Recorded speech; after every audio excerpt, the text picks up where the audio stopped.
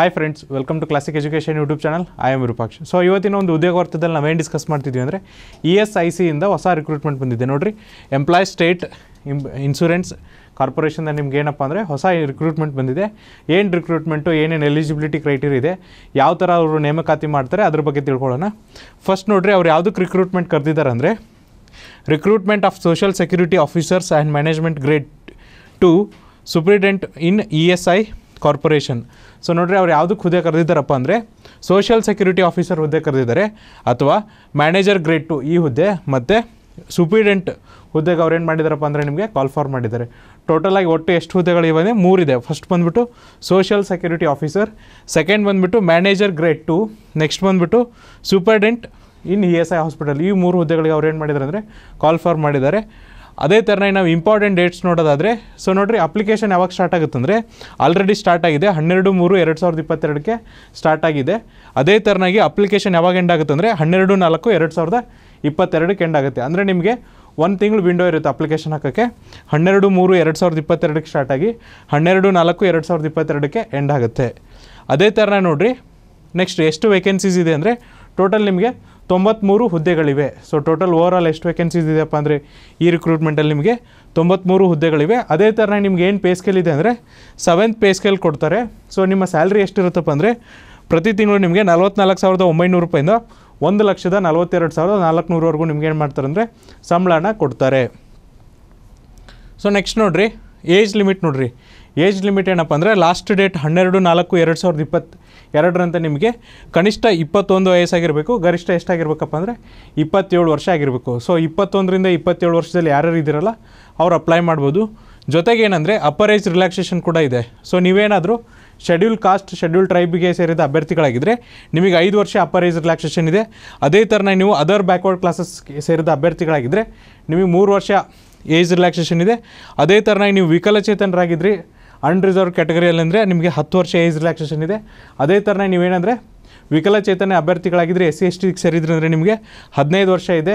ಅದೇ ಥರ ನೀವು ವಿಕಲಚೇತನ ಅಭ್ಯರ್ಥಿಗಳಾಗಿದ್ದು ಒ ಬಿ ಸಿ ಕ್ಯಾಟಗರಿ ಸೇರಿದರೆ ನಿಮಗೆ ಹದಿಮೂರು ವರ್ಷ ಏಜ್ ರಿಲ್ಯಾಕ್ಸೇಷನ್ ಸಿಗುತ್ತೆ. ಅದೇ ಥರನಾಗಿ ಎಕ್ಸ್ ಸರ್ವಿಸ್ ಮೆನ್ನಿಗೆ ಎಷ್ಟಪ್ಪ ಅಂದರೆ ಐದು ವರ್ಷ ಏಜ್ ರಿಲ್ಯಾಕ್ಸೇಷನ್ ಇರುತ್ತೆ.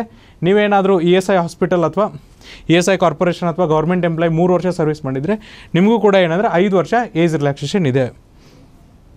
ಸೊ ನೆಕ್ಸ್ಟ್ ನೋಡಿರಿ ಹೌ ಟು ಅಪ್ಲೈ ಯಾವ ಥರ ಅಪ್ಲೈ ಮಾಡ್ತೀರಪ್ಪ ಅಂದರೆ candidates can apply online up to twelve four twenty twenty two and no other modes of the application will be accepted so ನೀವೇನು ಮಾಡಬೇಕಂದ್ರೆ ಆನ್ಲೈನ್ ಅಪ್ಲೈ ಮಾಡಬೇಕಾಗುತ್ತೆ. ಅದು ಕೂಡ ಯಾವಾಗಿನವರೆಗೆ ಅಂದರೆ, ಹನ್ನೆರಡು, ನಾಲ್ಕು, ಎರಡು ಸಾವಿರದ ಇಪ್ಪತ್ತೆರಡರವರೆಗೂ. ಸೊ ನೆಕ್ಸ್ಟ್ ನೋಡಿರಿ, ನೀವು ಯಾವುದೇ ಬೇರೆ ಮೋಡ್ ಅಂದರೆ ಪೋಸ್ಟಿಂದ ಆಗಲಿ ಕೊರಿಯರ್ ಮೂಲಕ ನೀವು ಅಪ್ಲಿಕೇಶನ್ ಸಲ್ಲಿಸಿದ್ರೆ ಅವರು ಅಕ್ಸೆಪ್ಟ್ ಮಾಡಲ್ಲ.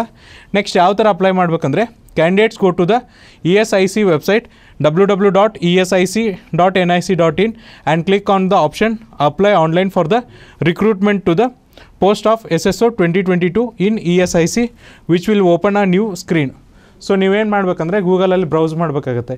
ಏನಪ್ಪ ಅಂದರೆ W W dot E S I C N I C dot in ಅಂತೇಳಿ ಬ್ರೌಸ್ ಮಾಡಿದ ಮೇಲೆ ನಿಮ್ಗೆ ಏನಪ್ಪ ಅಂದರೆ ಅವ್ರ ಅಫಿಷಿಯಲ್ ಪೇಜ್ ಓಪನ್ ಆಗುತ್ತೆ. ಅಲ್ಲಿ ಏನಿರುತ್ತೆ ಅಂದರೆ ನಿಮಗೆ apply apply online for recruitment to the post of S S O twenty twenty two ಅಂತ ಇರುತ್ತೆ. ಅಲ್ಲಿ ನೀವು ಕ್ಲಿಕ್ ಮಾಡಿದ್ಮೇಲೆ ನಿಮಗೆ ಹೊಸ ಸ್ಕ್ರೀನ್ ಬರುತ್ತೆ. ಅಲ್ಲಿ ನಿಮ್ಮ ಡೀಟೇಲ್ಸ್ನ ಫಿಲ್ ಮಾಡಿ ನೀವೇನಪ್ಪ ಅಂದರೆ ಅಪ್ಲಿಕೇಶನ್ನ ಹಾಕ್ಬೋದು. ಅದೇ ಥರನಾಗಿ ಅಪ್ಲಿಕೇಶನ್ ಫೀಸ್ ನೋಡಿರಿ. ಅಪ್ಲಿಕೇಶನ್ ಫೀಸ್ ಎಷ್ಟಿದೆಯಪ್ಪ ಅಂದರೆ, ನೀವೇನಾದರೂ ಎಸ್ ಸಿ ಎಸ್ ಟಿ ವಿಕಲಚೇತನರು ಮತ್ತು ಡಿಪಾರ್ಟ್ಮೆಂಟಲ್ ಕ್ಯಾಂಡಿಡೇಟ್ಸು ಮತ್ತು ಮಹಿಳಾ ಅಭ್ಯರ್ಥಿಗಳು ಜೊತೆಗೆ ಎಕ್ಸ್ ಸರ್ವಿಸ್ ಮ್ಯಾನ್ ಆಗಿದ್ದರೆ ನಿಮಗೆ ಎಷ್ಟು ಅಪ್ಲಿಕೇಶನ್ ಫೀಸ್ ಇದೆ ಅಂದರೆ ಎರಡುನೂರ ಐವತ್ತು ರೂಪಾಯಿ ಇದೆ. ಅದೇ ಥರ ನೀವು ಬೇರೆ ಎಲ್ಲ ಕ್ಯಾಟಗರಿಗೆ ಸೇರಿದ್ರೆ ಅಂದರೆ ಒ ಬಿ ಸಿ ಇರ್ಬೋದು ಎಕನಾಮಿಕಲಿ ವೀಕರ್ ಸೆಕ್ಷನ್ ಇರ್ಬೋದು ಜನರಲ್ ಕ್ಯಾಟಗರಿ ಇರ್ಬೋದು, ಆ ಥರದ ಅಭ್ಯರ್ಥಿಗಳಾಗಿದ್ದರೆ ನಿಮಗೆ ಐದುನೂರು ರೂಪಾಯಿ ಅಪ್ಲಿಕೇಶನ್ ಫೀಸ್ ಇದೆ. ಆಮೇಲೆ ಇದೇನು ಎರಡು ನೂರ ಐವತ್ತು ರೂಪಾಯಿ ಇದೆಲ್ಲ ಇವ್ರಿಗೊಂದು ಇಂಪಾರ್ಟೆಂಟ್ ಕ್ಲಾಸ್ ಇದೆ. ಏನಪ್ಪ ಅಂದರೆ this fee of two fifty rupees shall be refunded duly deducting the bank charges as applicable on the appearing of the candidates in the part one return examination so ನೋಡಿರಿ ನಿಮ್ದೇನು ಎರಡು ನೂರ ಐವತ್ತು ರೂಪಾಯಿ pay ಮಾಡಿರ್ತಾರಲ್ಲ, ಅವ್ರು ಏನು ಮಾಡ್ತಾರೆ ಅಂದರೆ ರೀಫಂಡ್ ಮಾಡ್ತಾರೆ. ಬ್ಯಾಂಕ್ ಚಾರ್ಜಸ್ ಬಿಟ್ಟು ಉಳ್ಕೆದ ಅಮೌಂಟ್ನ ರೀಫಂಡ್ ಮಾಡ್ತಾರೆ. ಯಾವಾಗಪ್ಪ ಅಂದರೆ ನೀವು ಫಸ್ಟ್ ಸ್ಟೇಜ್ ಎಕ್ಸಾಮಿನೇಷನ್ ಅಪಿಯರ್ ಆಗಿದಾಗ ಅವ್ರೇನು ಮಾಡ್ತಾರೆ ಅಂದರೆ ನಿಮ್ಮ ಅಕೌಂಟಿಗೆ ವಾಪಸ್ ಹಣನ ರೀಫಂಡ್ ಮಾಡ್ತಾರೆ. ಯಾರಿಗಂದರೆ? Only S C S T ವಿಕಲಚೇತನರು ಮತ್ತು ಡಿಪಾರ್ಟ್ಮೆಂಟ್ ಕ್ಯಾಂಡಿಡೇಟ್ಸು ಆಮೇಲೆ ಮಹಿಳಾ ಅಭ್ಯರ್ಥಿಗಳು, ಆಮೇಲೆ ಎಕ್ಸ್ ಸರ್ವಿಸ್ಮೆನ್ ಅಭ್ಯರ್ಥಿಗಳಿಗೆ. ನೆಕ್ಸ್ಟ್ ನೋಡಿರಿ ಎಜುಕೇಷನ್ ಕ್ವಾಲಿಫಿಕೇಷನ್ ಏನಿದೆಯಪ್ಪ ಅಂದರೆ a degree of a recognised university preference will be given to those graduates in commerce law and management so ನಿಮಗೇನಪ್ಪ ಅಂದರೆ ಇಲ್ಲಿ ಎಲಿಜಿಬಿಲಿಟಿ ಕ್ರೈಟೀರಿಯಾ ಇದೆ ಅಂದರೆ ನೀವು ಯೂನಿವರ್ಸಿಟಿಲಿ ಒಂದು ಪದವಿ ಪಡೆದಿರಬೇಕು. ಅಂದರೆ ನೀವು ಪದವೀಧರರಾಗಿರ್ಬೋದು ಯಾವುದೇ ಒಂದು ಪದವಿ ಆಗಿರ್ಬೋದು ಎಲಿಜಿಬಿಲಿಟಿ ಆಗ್ತೀರಾ. ಬಟ್ ಏನಪ್ಪ ಅಂದರೆ ಅವರು ಕೆಲವೊಂದಿಷ್ಟು ಸ್ಟ್ರೀಮಿಗೆ ಪ್ರಿಫರೆನ್ಸ್ ಕೊಡ್ತಿದ್ದಾರೆ. ಯಾವುದಪ್ಪ ಅಂದರೆ ಕಾಮರ್ಸ್ ಲಾ ಮ್ಯಾನೇಜ್ಮೆಂಟ್ ಸೊ ನೋಡಿರಿ, ನೀವೇನಾದರೂ ಕಾಮರ್ಸ್ ಮಾಡಿದರೆ ಲಾ ಮಾಡಿದರೆ ಮ್ಯಾನೇಜ್ಮೆಂಟ್ ಮಾಡಿದರೆ ನಿಮಗೆ ಪ್ರಿಫರೆನ್ಸ್ ಏನಂದರೆ ಜಾಸ್ತಿ ಇರ್ತದೆ. Working knowledge of the computer including the use of office suites and database ಜೊತೆಗೆ ನಿಮ್ಗೆ ಏನಪ್ಪ ಅಂದರೆ ಕಂಪ್ಯೂಟರ್ ವರ್ಕಿಂಗ್ ನಾಲೆಜ್ ಇರಬೇಕಾಗುತ್ತೆ. ಜೊತೆಗೆ ಏನಂದರೆ ಆಫೀಸ್ ಶೂಟ್ ಮತ್ತು ಡಾಟಾಬೇಸ್ ಬಗ್ಗೆ ನಿಮಗೆ ತಿಳ್ಕೊಂಡಿರ್ಬೇಕಾಗುತ್ತೆ. ಇಂಥ ಕ್ಯಾಂಡಿಡೇಟ್ಸ್ ಏನಂದರೆ ಈ ಹುದ್ದೆಗೆ ಅಪ್ಲೈ ಮಾಡ್ಬೋದು. ಜೊತೆಗೆ ಏನಂದರೆ ನೋಡ್ರಿ ಎಕ್ಸ್ಪೀರಿಯೆನ್ಸ್ ಕೇಳಿದ್ದಾರೆ ಡಿಸೈರಬಲ್ ಅಂದರೆ ಇರಲೇಬೇಕು ಅಂತ. Three year service in government organisation or corporation or government undertaking or local body or schedule bank etcetera so ನೀವೇನು ಮಾಡಿರ್ಬೇಕಂದ್ರೆ ಮೂರು ವರ್ಷ ಕೆಲಸ ಮಾಡಿರಬೇಕಾಗುತ್ತೆ. ಎಲ್ಲಪ್ಪ ಅಂದರೆ ಯಾವುದಾದ್ರೂ ಗೌರ್ಮೆಂಟ್ ಆರ್ಗನೈಸೇಷನ್ ಇರ್ಬೋದು ಅಥವಾ ಯಾವುದಾದ್ರೂ ಕಾರ್ಪೊರೇಷನ್ ಇರ್ಬೋದು ಅಥವಾ ಗೌರ್ಮೆಂಟ್ ಅಂಡರ್ಟೇಕಿಂಗ್ಸ್ ಅಂದರೆ ಪಬ್ಲಿಕ್ ಸೆಕ್ಟರ್ ಅಂಡರ್ಟೇಕಿಂಗ್ಸ್ ಇರುತ್ತಲ್ಲ, ಅಲ್ಲಿ ಕೆಲಸ ಮಾಡಿರಬೇಕಾಗುತ್ತೆ. ಅಥವಾ ಲೋಕಲ್ ಬಾಡಿ ಯಾವುದಾದ್ರೂ ಲೋಕಲ್ ಆಫೀಸಲ್ಲಾದರೂ ನೀವು ಕೆಲಸ ಮಾಡಿರ್ಬೋದು. ಲೋಕಲ್ ಬಾಡಿ ಅಂದರೆ ಮುನ್ಸಿಪಾಲ್ಟಿ ಇರ್ಬೋದು, ಆ ಥರದ್ದು ಆಫೀಸಲ್ಲಾದರೂ ಕೆಲಸ ಮಾಡಿರ್ಬೋದು. ಅಥವಾ scheduled bike scheduled bank sorry scheduled bank ಅಂದರೆ ಆರ್ ಬಿ ಐ ವೆಬ್ಸೈಟಲ್ಲಿ ಏನು ಹದಿನಾಲ್ಕು ಶೆಡ್ಯೂಲ್ಡ್ ಬ್ಯಾಂಕ್ ಬರುತ್ತಲ್ಲ, ಅಲ್ಲಾದರೂ ನೀವು ಕೆಲಸ ಮಾಡಿರಬೇಕು. ಅಂಥ ವಿದ್ಯಾರ್ಥಿಗಳಿಗೆ ಏನು ಮಾಡ್ತಾರಪ್ಪ ಅಂದರೆ ಅಂಥ ಅಭ್ಯರ್ಥಿಗಳಿಗೆ ಜಾಸ್ತಿ ಪ್ರಿಫರೆನ್ಸ್ ಕೊಡ್ತಾರೆ. ನೆಕ್ಸ್ಟ್ ನೋಡಿರಿ ಸೆಲೆಕ್ಷನ್ ಪ್ರೊಸೀಜರ್ ಯಾವ ಥರ ಸೆಲೆಕ್ಟ್ ಮಾಡ್ತಾರೆ ಅಂದರೆ ನಿಮಗೆ ಟೋಟಲ್ ಮೂರು ಎಕ್ಸಾಮಿನೇಷನ್ ಇರುತ್ತೆ. ಫಸ್ಟ್ ಏನಪ್ಪ ಅಂದರೆ ಪ್ರಿಲಿಮಿನರಿ ಎಕ್ಸಾಮ್ ಇರುತ್ತೆ. ನೆಕ್ಸ್ಟ್ ಏನಂದರೆ ಮೇನ್ಸ್ ಎಕ್ಸಾಮಿನೇಷನ್ ಇರುತ್ತೆ. ಮೂರನೇದು ಏನಪ್ಪ ಅಂದರೆ computer skills test and descriptive test ಅಂತ ಇರುತ್ತೆ. ಸೊ ನಿಮಗೆ ಮೂರು ಹಂತದಲ್ಲಿ ಏನು ಮಾಡ್ತಾರೆ ಅಂದರೆ ಸೆಲೆಕ್ಷನ್ನ ಮಾಡ್ತಾರೆ. First preliminary next mains examination ಮೂರನೇದು ಕಂಪ್ಯೂಟರ್ ಸ್ಕಿಲ್ ಟೆಸ್ಟ್ ಅದಾದಮೇಲೆ ಡಿಸ್ಕ್ರಿಪ್ಷನ್ ಟೆಸ್ಟ್ ಕೂಡ ಇರ್ತದೆ. ನೆಕ್ಸ್ಟ್ ನೋಡಿರಿ ಪ್ರಿಲಿಮಿನರಿ ಎಕ್ಸಾಮಿನೇಷನಲ್ಲಿ ಏನಿರುತ್ತೆ ಅಂದರೆ, ಇಲ್ಲಿ ನಿಮಗೆ ಟೋಟಲ್ ಆಗಿ ಮೂರು ಸಬ್ಜೆಕ್ಟ್ ಇರುತ್ತೆ. ಫಸ್ಟ್ ಸಬ್ಜೆಕ್ಟ್ ಯಾವುದಪ್ಪ ಅಂದರೆ ಇಂಗ್ಲೀಷ್ ಲ್ಯಾಂಗ್ವೇಜ್ ಇಲ್ಲಿ ನಿಮಗೆ ಇಂಗ್ಲೀಷ್ ಲ್ಯಾಂಗ್ವೇಜಿಂದ ಮೂವತ್ತು ಕ್ವಶನ್ಸ್ ಕೇಳ್ತಾರೆ. ಮೂವತ್ತು ಮಾರ್ಕ್ಸ್ಗೆ ಇಪ್ಪತ್ತು ನಿಮಿಷ ಟೈಮ್ ಇರುತ್ತೆ. ರೀಸನಿಂಗ್ ಎಬಿಲಿಟಿಯಿಂದ ನಿಮಗೆ ಮೂವತ್ತೈದು ಕ್ವಶನ್ಸ್ ಕೇಳ್ತಾರೆ. ಮೂವತ್ತೈದು ಮಾರ್ಕ್ಸ್ಗೆ ಇಪ್ಪತ್ತು ನಿಮಿಷ ಟೈಮ್ ಇರುತ್ತೆ. ಕ್ವಾಂಟಿಟೇಟಿವ್ ಆ್ಯಪ್ಟಿಟ್ಯೂಡಿಂದ ನಿಮಗೆ ಮೂವತ್ತೈದು ಕ್ವಶನ್ಸ್ ಕೇಳ್ತಾರೆ. ಮೂವತ್ತೈದು ಮಾರ್ಕ್ಸ್ಗೆ ಇಪ್ಪತ್ತು ನಿಮಿಷ ಡ್ಯೂರೇಷನ್ ಇರುತ್ತೆ.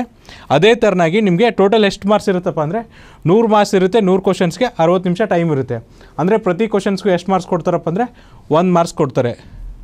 ಅದೇ ಥರನ ನೋಡಿರಿ, ಕೆಲವೊಂದು ಇನ್ಸ್ಟ್ರಕ್ಷನ್ ಕೊಟ್ಟಿದ್ದಾರೆ ಪ್ರಿಲಿಮಿನರಿ ಎಕ್ಸಾಮಿನೇಷನಲ್ಲಿ ಏನಪ್ಪ ಅಂದರೆ phase one is qualifying in nature and marks will be not be recognised for final merit so ಏನು ರೀ ಇದೇನು ಫೇಸ್ ಒನ್ ಎಕ್ಸಾಮಿನೇಷನ್ ಇದೆಯಲ್ಲ? ಇದೇನಪ್ಪ ಅಂದರೆ ಜಸ್ಟ್ ಕ್ವಾಲಿಫೈಯಿಂಗ್ ನೇಚರ್ ಇದರಲ್ಲಿ ನೀವು ಪಾಸ್ ಆದರೆ ಮಾತ್ರ ಫೇಸ್ ಟೂಗೆ ಹೋಗ್ತೀರಾ ಇದನ್ನೇನಪ್ಪ ಅಂದರೆ ಫೈನಲ್ ಮೆರಿಟ್ ಲಿಸ್ಟಿಗೆ ಕನ್ಸಿಡರ್ ಮಾಡಲ್ಲ. ಇಲ್ಲಿ ನೀವೇನಂದರೆ ಜಸ್ಟ್ ಎಷ್ಟು ಬೇಕಲ್ಲ ಅಷ್ಟು ಪಾಸ್ ಆದರೆ ಸಾಕು, ನೀವು ಎಲಿಜಿಬಲ್ ಆಗ್ತೀರಾ. ಸೊ ನೀವು ಹೈಯೆಸ್ಟ್ ಸ್ಕೋರ್ ಮಾಡಿದರೂ ಕೂಡ ನಿಮ್ಮ ಫೈನಲ್ ಮೆರಿಟ್ ಲಿಸ್ಟಿಗೆ ಈ ಮಾರ್ಕ್ಸನ್ನು ಅವರು ಕನ್ಸಿಡರ್ ಮಾಡಲ್ಲ. ಜೊತೆಗೆ ನೋಡಿರಿ for each wrong answer there will be negative marking of one fourth of the marks assign to that questions so ನೋಡ್ರಿ, ಪ್ರತಿಯೊಂದು ತಪ್ಪು ಉತ್ತರಕ್ಕೆ ಇಲ್ಲಿ ಏನಪ್ಪ ಅಂದರೆ ನೆಗೆಟಿವ್ ಮಾರ್ಕ್ಸ್ ಇದೆ. ಎಷ್ಟು ಅಂದರೆ ಒಂದು ಕ್ವಶನಿಗೆ ಎಷ್ಟು ಮಾರ್ಕ್ಸ್ ಕೊಟ್ಟಿರ್ತಾರಲ್ಲ, ಅದ್ರದ್ದು ಒನ್ ಫೋರ್ತ್ ಫಾರ್ ಎಕ್ಸಾಂಪಲ್ ಈಗ ಪ್ರತಿ ಕ್ವಶನಿಗೆ ಒಂದು ಮಾರ್ಕ್ಸ್ ಕೊಟ್ಟಿದ್ರೆ ಒನ್ ಫೋರ್ತ್ ಅಂದರೆ ಪಾಯಿಂಟ್ ಟು ಫೈವ್ ಮಾರ್ಕ್ಸ್ನ ಡಿಡೆಕ್ಟ್ ಮಾಡ್ತಾರೆ. Candidates will be short listed for phase two in the ratio of one is to ten about ten times the number of the vacancies in each category on the basis of their performance in phase one so ನೋಡಿರಿ, ಯಾರು phase one examination ಬರೀತಿರಲ್ಲ ಆ face ಟುಗೆ ಹೆಂಗೆ select ಮಾಡ್ತಾರೆ ಅಂದರೆ one is to ten ರೇಷೋಲ್ಲಿ select ಮಾಡ್ತಾರೆ. So ಈಗ ನೈಂಟಿ ತ್ರೀ ಪೋಸ್ಟ್ ಇದೆ ಅಂದರೆ ನೈನ್ ಹಂಡ್ರೆಡ್ ಆ್ಯಂಡ್ ತರ್ಟಿ ಪೀಪಲ್ಸ್ನ ಅವರು ಸೆಲೆಕ್ಟ್ ಮಾಡ್ತಾರೆ. ನೆಕ್ಸ್ಟ್ ನೋಡಿರಿ ನೆಕ್ಸ್ಟ್ ಬಂದುಬಿಟ್ಟು ಮೇನ್ಸ್ ಎಕ್ಸಾಮಿನೇಷನ್ ಮೇನ್ಸ್ ಎಕ್ಸಾಮಿನೇಷನಲ್ಲಿ ನಿಮಗೆ ಎಷ್ಟು ಪಾರ್ಟ್ ಇರುತ್ತಪ್ಪ ಅಂದರೆ ನಾಲ್ಕು ಪಾರ್ಟ್ ಇರುತ್ತೆ. ಫೇಸ್ ಒನ್ನಲ್ಲಿ ಎಷ್ಟಿತ್ತು ಅಂದರೆ ಮೂರಿತ್ತು ಇಲ್ಲಿ ನಾಲ್ಕಿದೆ ಸೊ ಯಾವ್ಯಾವ ಪಾರ್ಟ್ ಇದೆ ಅಂದರೆ ಇಂಗ್ಲೀಷ್ ಲ್ಯಾಂಗ್ವೇಜಿಂದ ನಿಮಗೆ ಮೂವತ್ತು ಕ್ವಶನ್ಸ್ ಕೇಳ್ತಾರೆ, ನಲ್ವತ್ತು ಮಾರ್ಕ್ಸ್ಗೆ ಮೂವತ್ತು ನಿಮಿಷ ಟೈಮ್ ಇರುತ್ತೆ. ರೀಸನಿಂಗ್ ಅಥವಾ ಇಂಟೆಲಿಜೆನ್ಸಿಂದ ನಿಮಗೆ ನಲ್ವತ್ತು ಕ್ವಶನ್ಸ್ ಕೇಳ್ತಾರೆ, ಅರವತ್ತು ಮಾರ್ಕ್ಸ್ಗೆ ಮೂವತ್ತೈದು ನಿಮಿಷ ಟೈಮ್ ಇರುತ್ತೆ. ಜನರಲ್ ಎಕನಾಮಿಕ್ ಎಕನಾಮಿ ಫೈನಾನ್ಷಿಯಲ್ ಮತ್ತು ಇನ್ಶೂರೆನ್ಸ್ ಅವೇರ್ನೆಸ್ಸಿಂದ ನಿಮಗೆ ನಲ್ವತ್ತು ಕ್ವಶನ್ಸ್ ಕೇಳ್ತಾರೆ, ನಲ್ವತ್ತು ಮಾರ್ಕ್ಸ್ಗೆ ಇಪ್ಪತ್ತು ನಿಮಿಷ ಡ್ಯೂರೇಷನ್ ಇರುತ್ತೆ. ಅದೇ ಥರನಾಗಿ ನಿಮಗೆ ಕ್ವಾಂಟಿಟೇಟಿವ್ ಆ್ಯಪ್ಟಿಟ್ಯೂಡಿಂದ ನಲ್ವತ್ತು ಕ್ವಶನ್ಸ್ ಕೇಳ್ತಾರೆ, ಅರವತ್ತು ಮಾರ್ಕ್ಸ್ಗೆ ಮೂವತ್ತೈದು ನಿಮಿಷ ಡ್ಯೂರೇಷನ್ ಇರುತ್ತೆ. ಟೋಟಲ್ ಆಗಿ ನಿಮಗೆ ನೂರೈವತ್ತು ಕ್ವಶನ್ಸ್ ಕೇಳ್ತಾರೆ ಎರಡು ನೂರು ಮಾರ್ಕ್ಸ್ಗೆ ನೂರ ಇಪ್ಪತ್ತು ನಿಮಿಷ ಟೈಮ್ ಇರುತ್ತೆ ಅಂದರೆ ಎರಡು ಅವರ್ ಡ್ಯೂರೇಷನ್ ಇರುತ್ತೆ. ಇಲ್ಲಿ ಕೂಡ ಏನಪ್ಪ ಅಂದರೆ the marks obtained in phase two will be consider for the final selection so ನೋಡಿರಿ ಫೇಸ್ ಒನ್ ಏನಿತ್ತು ಅಂದರೆ ಜಸ್ಟ್ ಕ್ವಾಲಿಫೈಯಿಂಗ್ ಇತ್ತು. ಫೇಸ್ ಟು ಏನು ಮಾಡ್ತಿದ್ದಾರೆ ಅಂದರೆ ಫೈನಲ್ ಸೆಲೆಕ್ಷನಿಗೆ ಮಾರ್ಕ್ಸ್ನ ಕನ್ಸಿಡರ್ ಮಾಡ್ತಿದ್ದಾರೆ. ಅಂದರೆ ನೀವು ಫೇಸ್ ಟು ಅಲ್ಲಿ ಎಷ್ಟು ಮಾರ್ಕ್ಸ್ ತೊಗೊತಿರಲ್ಲ, ಅದನ್ನು ಫೈನಲ್ ಸೆಲೆಕ್ಷನಿಗೆ ಅವರು ಮೆರಿಟ್ ಲಿಸ್ಟಿಗೆ ಕನ್ಸಿಡರ್ ಮಾಡ್ತಾರೆ. ಸೊ ಹಾಗಾಗಿ ಇದು important examination for each wrong answer there will be negative marking of one fourth of that marks assign to that questions so ನೋಡ್ರಿ, ಪ್ರತಿಯೊಂದು ತಪ್ಪು ಉತ್ತರಕ್ಕೆ ಅವ್ರು ಎಷ್ಟು ಮಾರ್ಕ್ಸ್ ಕಟ್ ಮಾಡ್ತಾರಪ್ಪ ಅಂದರೆ, ಆಗಲೇ ಹೇಳ್ದಂಗೆ ಆ ಕ್ವಶನಿಗೆ ಎಷ್ಟು ಮಾರ್ಕ್ಸ್ ಇರುತ್ತಲ್ಲ ಅದ್ರದ್ದು ಒನ್ ಫೋರ್ತ್ ಮಾರ್ಕ್ಸ್ನ ಕಟ್ ಮಾಡ್ತಾರೆ. Candidates will be short listed for phase three in the ratio of one is to five that is five times the number of the vacancies in each category on the basis of their performance in phase two so ನೋಡ್ರಿ phase ತ್ರೀಗೆ ಕ್ಯಾಂಡಿಡೇಟ್ಸ್ನ ಹೆಂಗೆ select ಮಾಡ್ತಾರೆ ಅಂದರೆ one is to three ರೇಷಿಯೋಲ್ select ಮಾಡ್ತಾರೆ. Phase ಒನ್ನಲ್ಲಿ phase ಟೂಗೆ ಹೆಂಗೆ ಸೆಲೆಕ್ಟ್ ಮಾಡಿದ್ರಪ್ಪ ಅಂದರೆ ಒನ್ ಇಸ್ ಟು ಫೈವ್ ರೇಷಿಯೋಲ್ ಸೆಲೆಕ್ಟ್ ಮಾಡಿದ್ರು ಫೇಸ್ ತ್ರೀಗೆ ಒನ್ ಇಸ್ ಟು ಫೈವ್ ರೇಷಿಯೋಲಿ ಸೆಲೆಕ್ಟ್ ಮಾಡ್ತಾರೆ. ಸೊ ಪ್ಯೂರ್ಲಿ ಯಾವ ಬೇಸಿಸ್ ಮೇಲೆ ಅಂದರೆ ನೀವು ಫೇಸ್ ಟೂಲ್ಲಿ ಹೆಂಗೆ ಪರ್ಫಾರ್ಮೆನ್ಸ್ ಮಾಡಿರ್ತಿರಲ್ಲ ಆ ಬೇಸ್ ಮೇಲೆ ನಿಮ್ಗೆ ಏನಪ್ಪ ಅಂದರೆ ಫೇಸ್ ತ್ರೀಗೆ ಸೆಲೆಕ್ಟ್ ಮಾಡ್ತಾರೆ. ಅದಾದಮೇಲೆ ನಿಮ್ಗೆ ಏನು ಮಾಡ್ತಾರಪ್ಪ ಅಂದರೆ ಕಂಪ್ಯೂಟರ್ ಸ್ಕಿಲ್ ಟೆಸ್ಟ್ ಅಂತ, ಮತ್ತು ಡಿಸ್ಕ್ರಿಪ್ಟಿವ್ ಟೆಸ್ಟ್ ಅಂತ ಇರುತ್ತೆ. ಸೊ ಫಸ್ಟ್ ನಾವೇನು ನೋಡೋಣ ಅಂದರೆ ಕಂಪ್ಯೂಟರ್ ಸ್ಕಿಲ್ ಟೆಸ್ಟ್ ಬಗ್ಗೆ ನೋಡೋಣ. Computer skill test will be of fifty marks ಇಲ್ಲಿ, ಐವತ್ತು ಮಾರ್ಕ್ಸ್ ಇರುತ್ತೆ. ಅದರೊಳಗೆ ಏನಪ್ಪ ಅಂದರೆ ಮೂರು ಪಾರ್ಟ್ಸ್ ಇದೆ. ನೋಡಿರಿ ಕಂಪ್ಯೂಟರ್ ಸ್ಕಿಲ್ ಟೆಸ್ಟ್ ಎಷ್ಟು ಮಾರ್ಕ್ಸ್ ಇರುತ್ತೆ ಅಂದರೆ ಐವತ್ತು ಮಾರ್ಕ್ಸ್ ಇರುತ್ತೆ, ಮೂರು ಪಾರ್ಟ್ಸ್ ಇದೆ. ಫಸ್ಟ್ ಪಾರ್ಟ್ ಏನಂದರೆ preparation of two PowerPoint slides ಅದಕ್ಕೆ ಎಷ್ಟು ಮಾರ್ಕ್ಸ್ ಇದೆಯಪ್ಪ ಅಂದರೆ ಹತ್ತು ಮಾರ್ಕ್ಸ್ ಸೊ ನೀವೇನು ಮಾಡಬೇಕಂದ್ರೆ ಎರಡು ಪವರ್ ಪಾಯಿಂಟ್ ಸ್ಲೈಡ್ಸ್ನ ಪ್ರಿಪೇರ್ ಮಾಡಬೇಕು. ಅದಕ್ಕೆ ಅವ್ರು ಎಷ್ಟು ಮಾರ್ಕ್ಸ್ ಕೊಡ್ತಿದ್ದಾರಪ್ಪ ಅಂದರೆ ಹತ್ತು ಮಾರ್ಕ್ಸ್ ಕೊಡ್ತಿದ್ದಾರೆ. ನೆಕ್ಸ್ಟ್ ಏನಂದರೆ typing matter on M S world with formatting twenty marks so ನೀವು ನೆಕ್ಸ್ಟ್ ಏನು ಮಾಡಬೇಕಂದ್ರೆ ಎಂ ಎಸ್ ವರ್ಲ್ಡಲ್ಲಿ ಟೈಪ್ ಮಾಡಬೇಕು. ವಿತ್ ಫಾರ್ಮೆಟ್ ಯಾವ ಫಾರ್ಮೆಟಲ್ಲಿ ಕೊಟ್ಟಿರ್ತಾರಲ್ಲ, ಅದೇ ಫಾರ್ಮೆಟಲ್ಲಿ ಟೈಪ್ ಮಾಡಬೇಕು. ಅದಕ್ಕೆ ಎಷ್ಟು ಮಾರ್ಕ್ಸ್ ಕೊಡ್ತಾರಪ್ಪ ಅಂದರೆ ಇಪ್ಪತ್ತು ಮಾರ್ಕ್ಸ್ ಕೊಡ್ತಾರೆ. ನೆಕ್ಸ್ಟ್ ನೋಡಿರಿ preparation of table on M S Excel with use of formulae twenty marks so ನೀವೇನು ಮಾಡಬೇಕಂದ್ರೆ ನೆಕ್ಸ್ಟ್ ಎಂ ಎಸ್ ಎಕ್ಸೆಲಲ್ಲಿ ಟೇಬಲ್ನ ಪ್ರಿಪೇರ್ ಮಾಡಬೇಕು. ಯೂಸಿಂಗ್ ಏನಪ್ಪ ಅಂದರೆ ಫಾರ್ಮುಲಾ ಯೂಸ್ ಮಾಡಿಬಿಟ್ಟು ನೀವೇನಂದರೆ ಟೇಬಲ್ನ ಪ್ರಿಪೇರ್ ಮಾಡಬೇಕಾಗುತ್ತೆ. ಅಲ್ಲಿ ನಿಮಗೆ ಇಪ್ಪತ್ತು ಮಾರ್ಕ್ಸ್ ಕೊಡ್ತಾರೆ. ಟೋಟಲ್ ಏನಂದರೆ ಕಂಪ್ಯೂಟರ್ ಸ್ಕಿಲ್ ಟೆಸ್ಟ್ ಐವತ್ತು ಮಾರ್ಕ್ಸ್ ಇರುತ್ತೆ. ಮೂರು ಭಾಗದಲ್ಲಿ ಕಂಡಕ್ಟ್ ಮಾಡ್ತಾರೆ. ನೆಕ್ಸ್ಟ್ ನೋಡಿರಿ ಡಿಸ್ಕ್ರಿಪ್ಟಿವ್ ಟೆಸ್ಟಲ್ಲಿ ಏನಿದೆ ಅಂದರೆ, ಇಲ್ಲಿ ನಿಮಗೆ ಎರಡು ಕ್ವಶನ್ಸ್ ಕೇಳ್ತಾರೆ, ಐವತ್ತು ಮಾರ್ಕ್ಸಿಗೆ ಮೂವತ್ತು ನಿಮಿಷ ಡ್ಯೂರೇಷನ್ ಇರುತ್ತೆ ವರ್ಷನ್ ಇಂಗ್ಲೀಷಲ್ಲಿ ಇರುತ್ತೆ. ಸೊ ಇನ್ನೊಂದು ಡೌಟ್ ಕ್ಲಿಯರಿಫೈ ಮಾಡಿಬಿಡ್ತೀನಿ. ನಿಮ್ಮ online examination phase one phase two ಏನಿದೆಯಲ್ಲ, ಎರಡೇ ಭಾಷೆಯಲ್ಲಿ ಮಾತ್ರ ಇರುತ್ತೆ. ಕನ್ನಡದಲ್ಲಿ ಎಕ್ಸಾಮಿನೇಷನ್ ಇರಲ್ಲ ಎಕ್ಸಾಮಿನೇಷನ್ ಏನಪ್ಪ ಅಂದರೆ ಇಂಗ್ಲೀಷ್ ಮತ್ತು ಹಿಂದಿಲಿರುತ್ತೆ ಇಂಗ್ಲೀಷ್ ಲ್ಯಾಂಗ್ವೇಜಿಗೆ ಮಾತ್ರ ಇಂಗ್ಲೀಷಲ್ಲಿ ಇರುತ್ತೆ, ಬಿಟ್ಟು. ಬೇರೆ ಸಬ್ಜೆಕ್ಟಿಗೆಲ್ಲ ನಿಮಗೆ ಯಾವ ಲ್ಯಾಂಗ್ವೇಜಲ್ಲಿ ಕ್ವಶನ್ಸ್ ಕೇಳ್ತಾರೆ ಅಂದರೆ ಇಂಗ್ಲೀಷ್ ಮತ್ತು ಹಿಂದಿಲಿ ಕೇಳ್ತಾರೆ. ಸೊ ಕನ್ನಡದಲ್ಲಿ ಕ್ವಶನ್ಸ್ ಕೇಳಲ್ಲ. ಸೊ ನೋಡ್ರಿ ಡಿಸ್ಕ್ರಿಪ್ಟಿವ್ ಪೇಪರಲ್ಲಿ ನಿಮಗೆ ಎರಡು ಕ್ವಶನ್ಸ್ ಇರುತ್ತೆ. ಎಷ್ಟು ಮಾರ್ಕ್ಸಿಗೆ ಕೇಳ್ತಾರಪ್ಪ ಅಂದರೆ ಐವತ್ತು ಮಾರ್ಕ್ಸಿಗೆ ಕೇಳ್ತಾರೆ. ಎಷ್ಟು ನಿಮಿಷ ಟೈಮ್ ಇರುತ್ತೆ ಅಂದರೆ ಮೂವತ್ತು ನಿಮಿಷ ಡ್ಯೂರೇಷನ್ ಇರುತ್ತೆ. ಸೊ ನೀವು ಇದನ್ನೇನು ಮಾಡಬೇಕಂದ್ರೆ ಇಂಗ್ಲೀಷಲ್ಲೇ ಆನ್ಸರ್ ಮಾಡಬೇಕು. ಸೊ ಅವ್ರ ವರ್ಷನ್ನು ಕೂಡ ಕ್ಲಿಯರಾಗೇ ಕೊಟ್ಟಿದ್ದಾರೆ.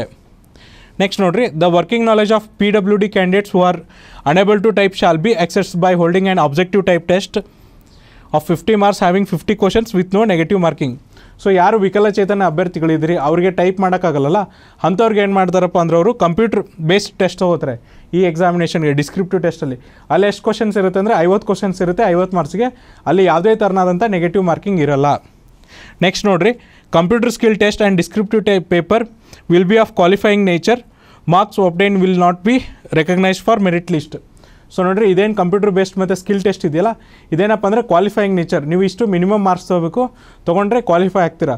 ಸೊ ಇದು ಬರೀ ಕ್ವಾಲಿಫೈಯಿಂಗ್ ನೇಚರ್ ಇದೆ. ಇಲ್ಲಿ ನೀವು ಎಷ್ಟು ಮಾರ್ಕ್ಸ್ ತೊಗೋತಿರಲ್ಲ, ಅದನ್ನೇನಪ್ಪ ಅಂದರೆ ಮೇನ್ಸ್ ಅಥವಾ ಫೈನಲ್ ಮೆರಿಟ್ ಲಿಸ್ಟಿಗೆ ತೆಗೆ ಕನ್ಸಿಡರ್ ಮಾಡಲ್ಲ. ನೆಕ್ಸ್ಟ್ ನೋಡಿರಿ ಕ್ವಾಲಿಫೈಯಿಂಗ್ ಮಾರ್ಕ್ಸ್ ಯಾವ್ಯಾವ ಕ್ಯಾಟಗರಿಗೆ ಎಷ್ಟಿದೆ ಅಂದರೆ qualifying marks in phase one preliminary examination phase two mains examination will be of forty five percentage for unreserved category forty percent for O B C category and economically weaker section category thirty five percent for S C S T ex service man and thirty percent for ವಿಕ person with benchmark disability so ನೋಡಿರಿ ಇಲ್ಲೇನಪ್ಪ ಅಂದರೆ ಎಷ್ಟು ತೊಗೊಂಡ್ರೆ ನೀವು qualify ಆಗ್ತೀರ ಅನ್ನೋಕ್ಕೆ phase ಒನ್ನಲ್ಲಿ unreserved category ಇದ್ದರೆ ನೀವು ನಲ್ವತ್ತೈದು ಪರ್ಸೆಂಟ್ ಮಾರ್ಕ್ಸ್ ತೊಗೋಬೇಕಾಗುತ್ತೆ. ಅದೇ ಥರನೇ ನೀವು ಒ ಬಿ ಸಿ ಕ್ಯಾಟಗರಿ ಅಭ್ಯರ್ಥಿಗಳಾಗಿದ್ದರೆ ಫೋರ್ಟಿ ಪರ್ಸೆಂಟ್ ಮಾರ್ಕ್ಸ್ ತೊಗೋಬೇಕಾಗುತ್ತೆ. ಇದು ಎಕನಾಮಿಕಲಿ ವೀಕರ್ ಸೆಕ್ಷನ್ ಅಭ್ಯರ್ಥಿಗಳು ಕೂಡ ಅಪ್ಲೈ ಆಗುತ್ತೆ. ತರ್ಟಿ ಫೈವ್ ಪರ್ಸೆಂಟ್ ಮಾರ್ಕ್ಸ್ ಯಾರು ತೊಗೋಬೇಕಪ್ಪ ಅಂದರೆ ಎಸ್ ಸಿ ಎಸ್ ಟಿ ಮತ್ತು ಎಕ್ಸ್ ಸರ್ವಿಸ್ಮೆಂಟ್ ತೊಗೋಬೇಕಾಗುತ್ತೆ. ಅದೇ ಥರನೇ ನೀವು ವಿಕಲಚೇತನ ಅಭ್ಯರ್ಥಿಗಳಾಗಿದ್ರೆ ತರ್ಟಿ ಪರ್ಸೆಂಟ್ ಮಾರ್ಕ್ಸ್ ತೊಗೋಬೇಕಾಗುತ್ತೆ. ನೆಕ್ಸ್ಟ್ ನೋಡಿರಿ the qualifying marks in phase three computer skill test and objective type computer test for the P W Ds and descriptive paper will be decided at the description of E S I C so ಯಾವ ವಿಕಲಚೇತನ ಅಭ್ಯರ್ಥಿಗಳಿದ್ದಾರಲ್ಲ ಅವರಿಗೆ computer skill test ಮಾಡಬೇಕಾ ಅಥವಾ descriptive test ಮಾಡಬೇಕಾ ಅನ್ನೋದನ್ನು ಯಾರು decide ಮಾಡ್ತಾರಪ್ಪ ಅಂದರೆ E S I C authority ಅವರೇ ಡಿ ಡಿಸೈಡ್ ಮಾಡ್ತಾರೆ. ನೆಕ್ಸ್ಟ್ ನೋಡಿರಿ, ಅವ್ರ ಅಫಿಷಿಯಲ್ ವೆಬ್ಸೈಟ್ ಏನಿದೆಯಪ್ಪ ಅಂದರೆ W W dot E S I C dot N I C dot in so ನಿಮಗೆ ಈ ನೋಟಿಫಿಕೇಷನಲ್ಲಿ ಏನಾದರೂ ಡೌಟ್ ಇದ್ದರೆ ಅವರ ಅಫಿಷಿಯಲ್ ವೆಬ್ಸೈಟ್ನ ವಿಸಿಟ್ ಮಾಡಿರಿ, ಅಥವಾ ನಮ್ಮ ಡಿಸ್ಕ್ರಿಪ್ಷನ್ ಬಾಕ್ಸಲ್ಲಿ ನಾವೇನಂದರೆ official P D F link ಕೊಟ್ಟಿರ್ತೀವಿ. ಅದನ್ನು ಕ್ಲಿಕ್ ಮಾಡೋದ್ರ ಮೂಲಕ ನಿಮ್ಗೆ ಏನಂದರೆ ಪಿ ಡಿ ಎಫ್ ಡೌನ್ಲೋಡ್ ಆಗುತ್ತೆ. ಅಲ್ಲಿ ನಿಮ್ಮ ಡೌಟ್ಸ್ನ ಕ್ಲಾರಿಫೈ ಮಾಡ್ಕೊರಿ. ನೆಕ್ಸ್ಟ್ ವೀಡಿಯೋದಲ್ಲಿ ಇನ್ನೊಂದು ರಿಕ್ರೂಟ್ಮೆಂಟ್ನ ಡಿಸ್ಕಸ್ ಮಾಡೋಣ. ಅಲ್ಲಿವರೆಗೂ ನೋಡ್ತಾ ಇರಿ classic education YouTube channel thank you